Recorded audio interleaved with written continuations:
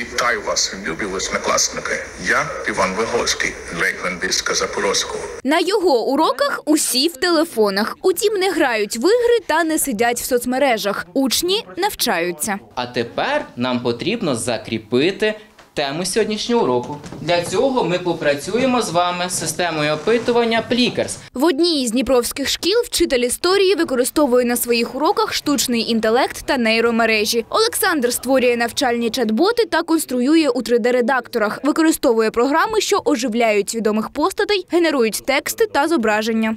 Це я обрав графічний напрямок, це створення інтерактивних портретів, це створення ілюстративного контенту. Е, Якщо ми говоримо про мовленеві моделі штучного інтелекту, це, е, наприклад, змагання.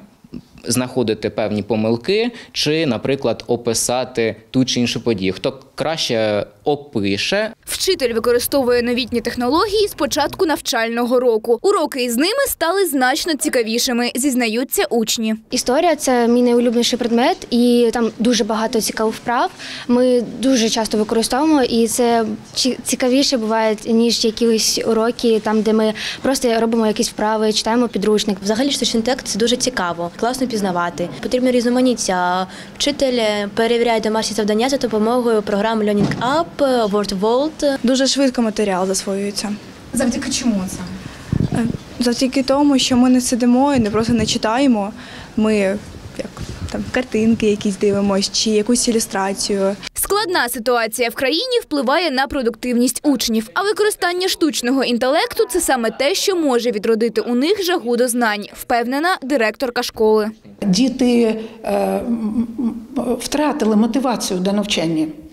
І ось е, ці цифрові платформи допомагають нам е, відроджувати мотивацію. Якщо є мотивація, значить зростає інтерес до вивчення того чи іншого предмету.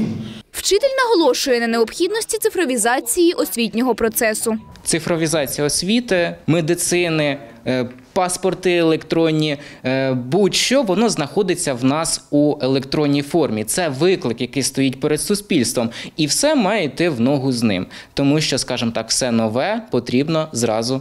е, Скажімо так, сприймати і використовувати. У час стрімкого розвитку технологій та інновацій несучасним закладом бути не можна, каже директорка. Тому не тільки Олександр, а й інші вчителі школи використовують штучний інтелект. коли моделюють структуру уроку при підготовці е, за темою будь-якою.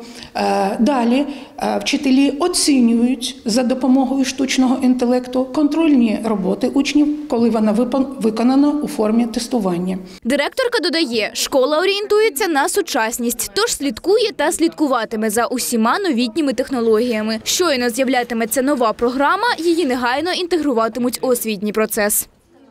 Ксенія Семененко, Руслан Герасименко, Open News, телеканал відкритий.